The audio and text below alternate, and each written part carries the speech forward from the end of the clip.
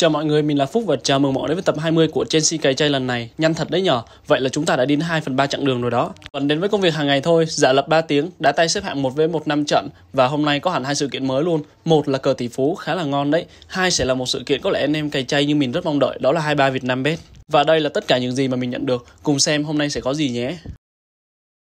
Ôi ôi, BP gom được là 383 triệu, cầu thủ mở ra nhìn chán thật sự luôn ấy. Trong một ngày có tận hai sự kiện mới thì mình lại không thể kiếm nổi một tỷ, tin được không trời. Hôm qua thì cũng có nhiều anh em bảo là đội hình mấy ngày rồi vẫn chưa có gì thay đổi, còn chán hơn tuyển Pháp nữa. Ôi trời ơi, Thôi thì vẫn như châm ngôn cũ, nếu vẫn chưa có em gái nào chiều anh em, vậy thì để tôi. Hôm nay chúng ta sẽ có hai vị trí được đổi mới. Một là Lampard mùa EBS với chỉ số 110 ở vị trí CM hai là Felix mùa hai đang bị fit giá ở vị trí LW.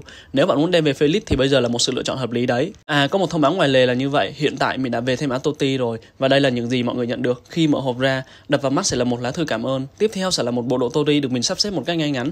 Nếu bạn đang cần hãy nhắn tin ngay cho mình nhé. Và có một tin vui là hiện tại mình đã được 19.800 lượt follow rồi, còn thiếu 200 nữa thôi thôi là mình sẽ hoàn thành mục tiêu 20.000 follow. Mong là chôm hôm nay sẽ được luôn. Chỉ cần bỏ 7 đến 8 giây ra thôi, ấn follow thôi là mọi người đã góp phần giúp mình hoàn thành mục tiêu này rồi đó. Và hôm nay đến đây thôi. Cảm ơn mọi người đã xem. Chúc mọi người một ngày vui vẻ.